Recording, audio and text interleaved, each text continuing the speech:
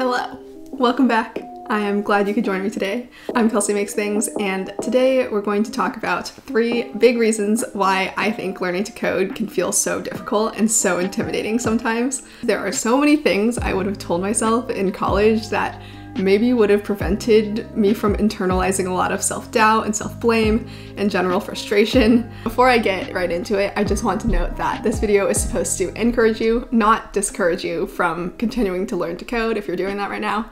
And please watch until the end to see exactly what I mean. Cool, let's get into it. The first thing I wanted to talk about today, I call the activation energy roadblock.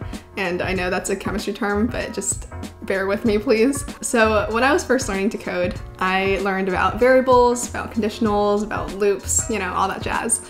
And I was like, wow, this is so cool. Like, I love this logic, awesome. But at the same time, I had no idea how this stuff that we were doing in Eclipse could translate into a real world product. So then I tried to figure that out myself by working on personal projects. And I soon realized that there are a bunch of other frameworks and utilities that you need to know in addition to the core logical concepts of programming. A real life memory I have of this period of time was when I tried to install a C++ library, I think through the command line. I had no clue how the command line really worked, so you can imagine what happened. There were just errors everywhere. I had no idea how to deal with them, I didn't know what they meant, and it was just so intimidating and scary to me. I was like, I'm not trying to write anything new, I'm just trying to install something, and it wasn't working out.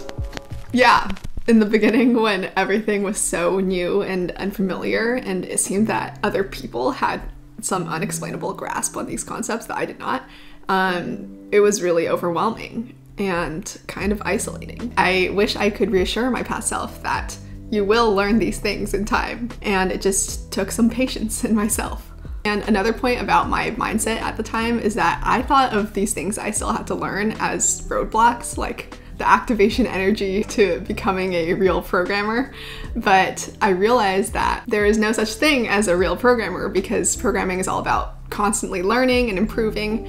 And now I think of having to learn things as investing in my growth and investing in my knowledge. That's definitely a healthier mindset to have. And it also has a bright side in that, you know, you're always evolving, always growing, and you can feel that even as a software engineer now.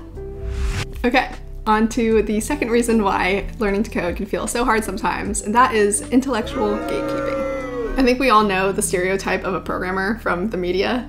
It's like that genius, but nerdy and maybe socially awkward white male. I think all of these descriptors of the stereotype are problematic, but let's just start with the genius part first. So there's this widespread idea that to learn to code or to become good at coding, you have to have this natural genius, like this natural technical intuition from birth. But that's so wrong because programming is literally like any other skill. You don't get good by being a genius. You get good by practicing and through years of experience. And in addition to just being straight up wrong, this idea also is very dangerous because if you're somebody who's starting to learn to code and you're not picking things up instantly like you think you should, then you start to doubt your own intelligence. Like with the command line example that I talked about earlier. Like after a day of struggling, I was like, wow, this is really impossible for me. Maybe I just don't have that natural intuition for the command line that other people seem to have. And when you think that your potential as a software engineer is directly tied to some intrinsic understanding that you don't have, you start to feel discouraged and you want to quit. And this is especially true for underrepresented minorities in tech, because if you don't look like this, maybe instead of thinking the logical thing, which is let me work at this and maybe it'll get easier, you start to think maybe I'm just not innately cut out for this. Maybe I just don't have what it takes because I don't look like this. So, yeah, I hate this image and this stereotype and all the intellectual gatekeeping that it kind of creates. Writing code is just like any other skill. Again, nobody naturally just knows it. Like everyone has to learn it. Okay, moving on to the third and last point of today, which is that there's never one right answer. When I first learned to code, I thought of the programs I was writing as either something that worked or something that didn't work. But then I got to college and then that was quickly debunked. I vividly remember my first assignment for my first CS class in college, and it was a pretty long assignment, so I stayed up all night working on it. And I remember at like 4 a.m., everything finally starts working. The test cases pass, and I'm like, Hallelujah, I'm done. This is amazing. This is great. I turn it in, and then obviously it comes back, and it, it was not great. So that was the first time I was judged on my code style in addition to its functionality. And I just remember like my code had so many magic numbers and was decomposed really badly and had these obnoxiously long comments in them. I'll put one up if I can find one.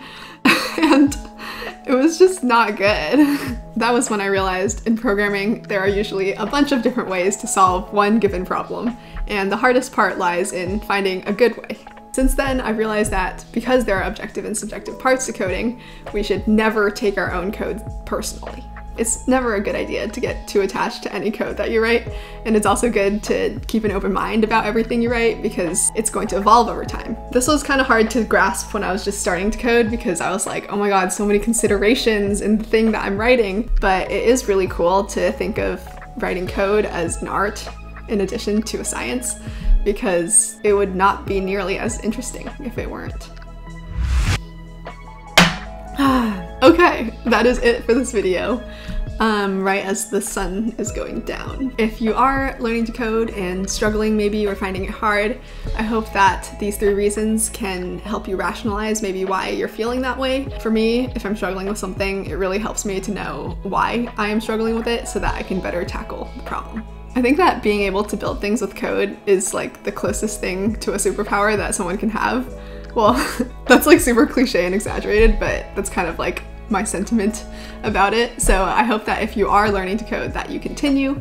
And I know that I talked about like kind of the universal struggles and like personal struggles that um, I faced, but there are also like really exciting moments and like super fun, awesome moments that maybe I'll leave for another video. So yeah, thanks for watching. I hope you have a great day and I will see you next time.